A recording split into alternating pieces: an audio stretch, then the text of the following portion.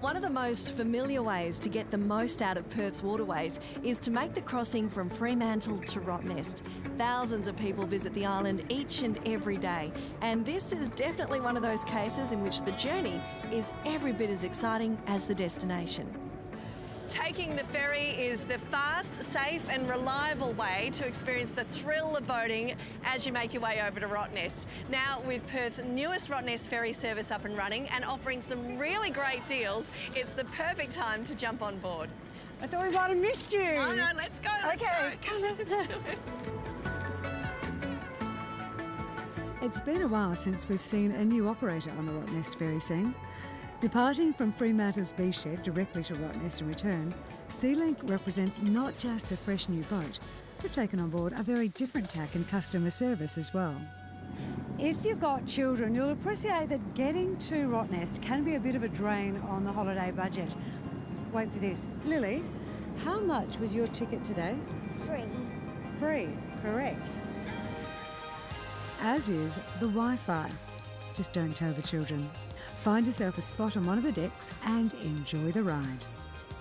It's actually pretty smooth. It is, it's rough, but this boat is lovely. We're doing okay. So now we're out of the heads there at Fremantle. It's about a 25 minute journey over to Rottnest. It's 19 kilometres, right? And bizarrely, some people actually swim that ah, distance. Maniacs. I much prefer the party at the other end myself. I agree with that, but you know what? Why wait? Because downstairs, coming downstairs, there's a beautiful cafe. I could get us chips. Do it, and I'm going to go see the captain say hi. Do see you in a minute. 35 metres long and with a top speed of 25 knots, as Chrissy said, this is the newest ferry to Rottnest in years, brimming with features that make for a smoother, more enjoyable ride. What is it that makes this ferry so comfortable?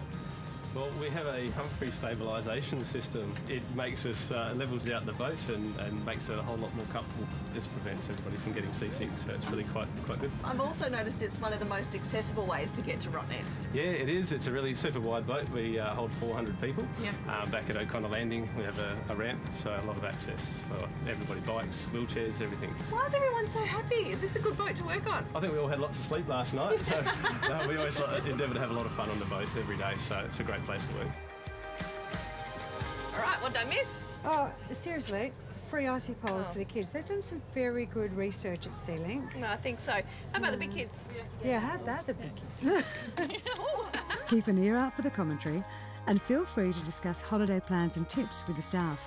They're all particularly passionate about Perth's holiday island, and be warned, most of them will only stop talking about it when it's time to secure the vessel at the ferry and pull out the walkway.